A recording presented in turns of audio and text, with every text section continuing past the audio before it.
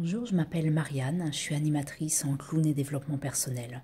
Je vous propose de vous accompagner sur votre chemin pour vous aider à découvrir comment votre clown invisible, en devenant visible, peut vous aider dans votre vie pour surmonter les moments difficiles ou ce que vous considérez comme étant un échec. Car pour le clown, l'échec en tant que tel n'existe pas. Car il transforme tout.